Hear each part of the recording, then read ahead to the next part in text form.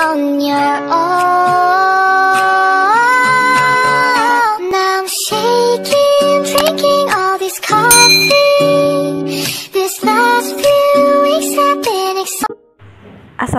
warahmatullahi wabarakatuh. Balik lagi di channel aku Nesa Rakisha Kali ini aku mau buat konektor masker lagi Motif terbaru Ini dia alat dan bahannya. Aku pakai dua jenis benang Warna yang berbeda Warna coklat dan warna pink. Di sini aku pakai hakpen nomor 3 dan 4 Tapi yang aku pakai nanti adalah nomor 3 Nanti di sana ada korek api dan juga kancing. Lanjut ke tutorialnya. Yang pertama kita buat slip knot dulu. Kalau kalian nggak tahu gimana buat caranya slip knot, nanti aku taruh linknya di deskripsi ya. Atau kalian bisa klik yang di atas. Nah, bisa juga dengan cara seperti ini, seperti magic ring, tapi tali pendeknya kita tarik seperti ini. Atau bisa juga dengan cara seperti ini. Tergantung kalian enaknya kayak gimana. Nah, kayak gini.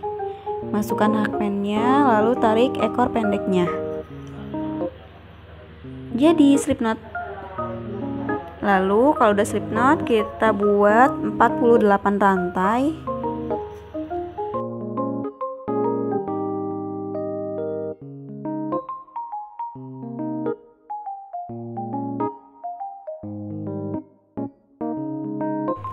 empat satu, empat dua, empat tiga, empat empat, empat lima, empat enam, empat tujuh, dan empat delapan. Ini udah buat 48 rantai atau 48 CH. Lalu kita akan ganti dengan benang yang warna coklat atau mocha ya. Nah, cara gantinya seperti ini. Jadi kita buat slip knot dulu yang warna coklat. lalu kita masukkan hakpen kita masukkan ke dalam lubang sini dan jadilah 49 ini udah e, kehitungnya satu rantai ya.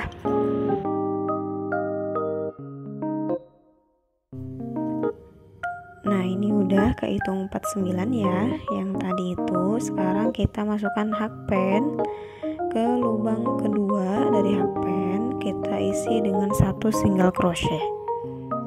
Satu single crochet kita isi uh, lubang selanjutnya dengan satu HDC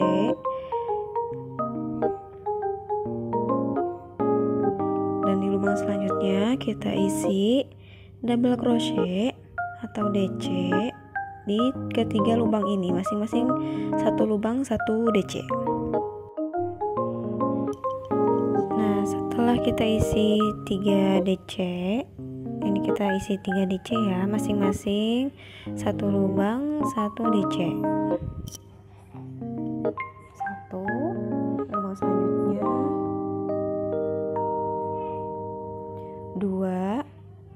selanjutnya.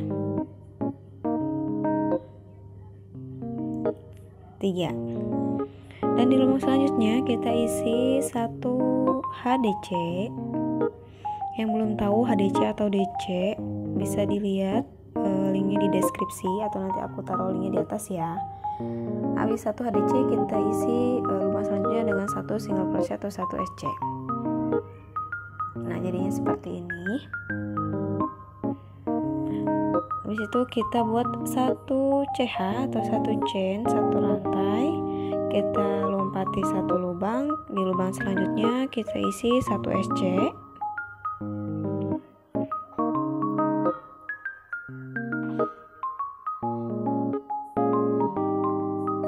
di lubang selanjutnya kita isi satu half double crochet atau HDC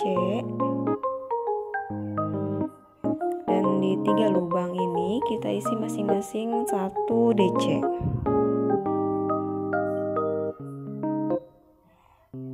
satu.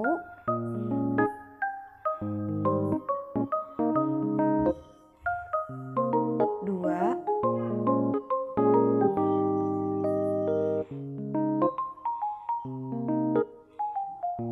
Tiga. Lalu kita isi satu half double crochet atau satu HDC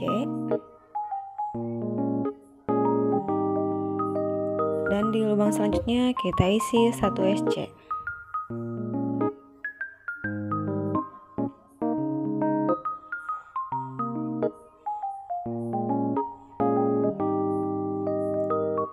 lalu kita buat satu rantai. Kita lompati satu lubang dan di lubang selanjutnya sama seperti tadi satu SC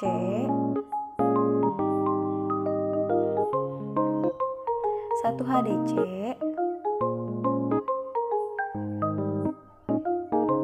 di tiga lubang kita isi masing-masing satu DC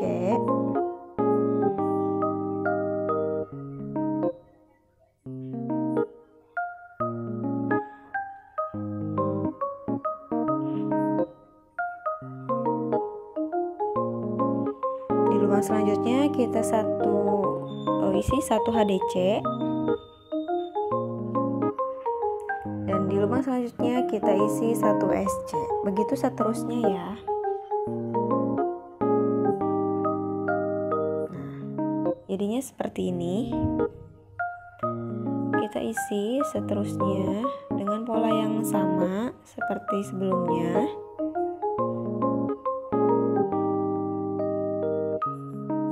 Satu SC, satu HDC, 3 DC, satu HDC dan satu SC sampai ke ujung sini.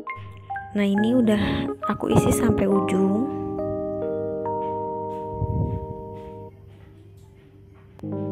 Lalu kita buat satu rantai. Kita balik.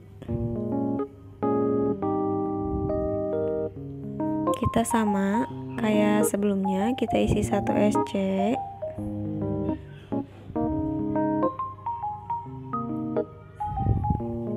Satu HDC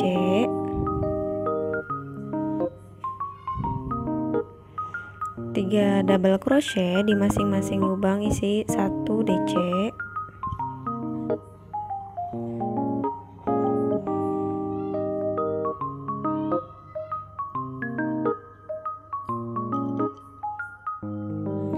lalu kita isi satu HDC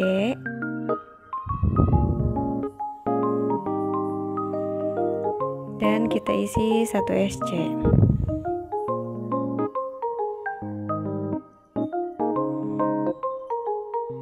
satu rantai kita lewati satu lubang yang kayak tadi. Lalu di lubang selanjutnya kita masih sama satu single crochet satu HDC tiga kali DC satu HDC dan satu SC begitu seterusnya ya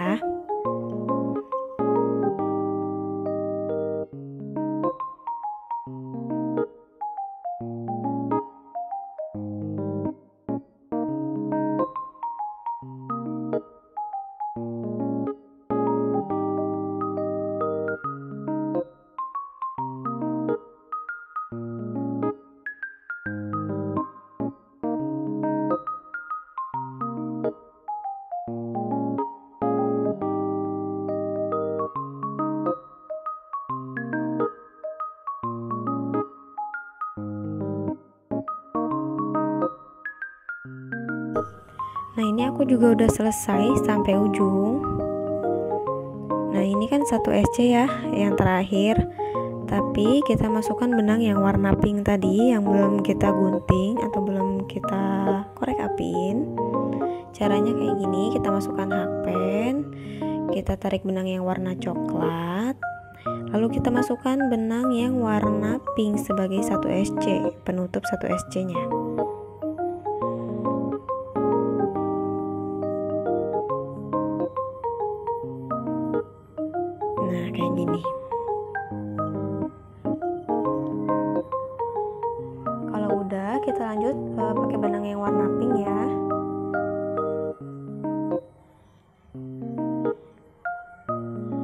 Kita isi masing-masing satu SC di 7 lubang.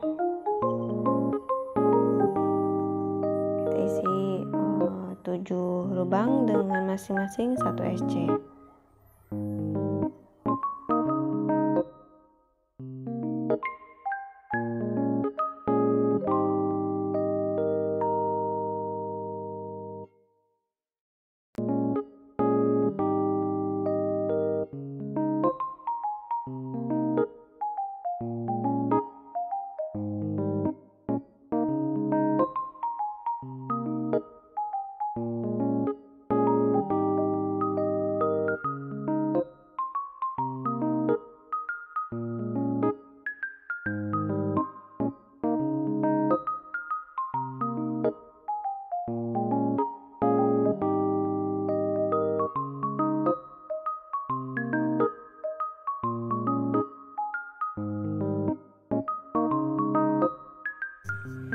Nah ini kan udah 7 kali SC ya. Sekarang kita isi satu SC di lubang yang bawah ini nih. Yang kita skip tadi ya. Kita isi satu single crochet atau satu SC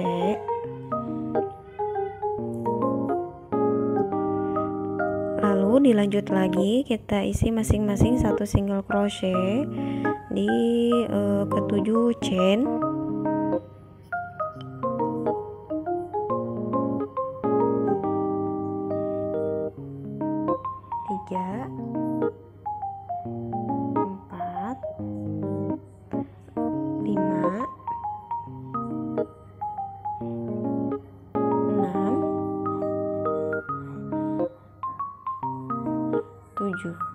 kita isi satu single crochet di lubang yang kita skip tadi begitu seterusnya oke okay?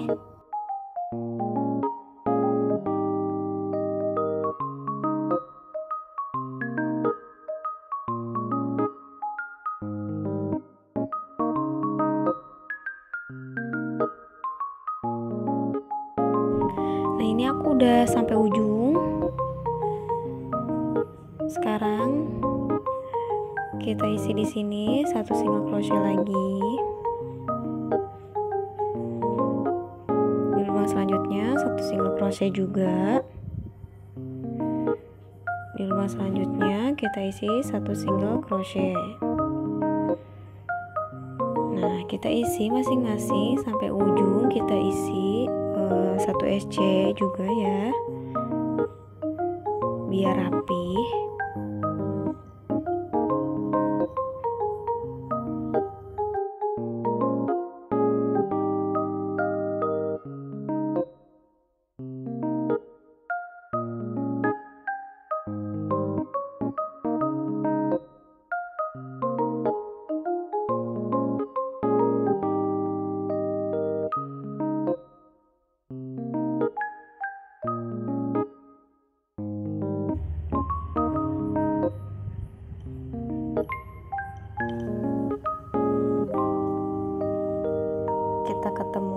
di ujung sini ya. Nah ini aku udah selesai isi masing-masing satu single crochet.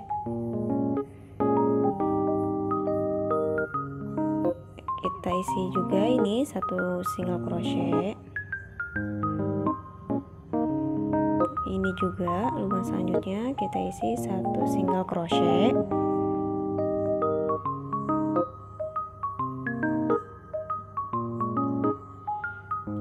kita gunting menggunakan korek api. Gunting agak panjang untuk menjahit kancingnya kanan kiri. Mau di sini atau di depan juga terserah kalian gimana bagusnya. Alhamdulillah ini udah jadi konektor maskernya cantik banget jadi kayak ini kayak kerang gitu ya mirip banget sih menurut aku kayak kerang gitu cangkang kerang. Ini udah aku pasang kancingnya juga. Makasih yang udah nonton mudah-mudahan kalian ngerti tentang tutorial aku ini. Kalian jangan lupa subscribe like dan komen. Wassalamualaikum warahmatullahi wabarakatuh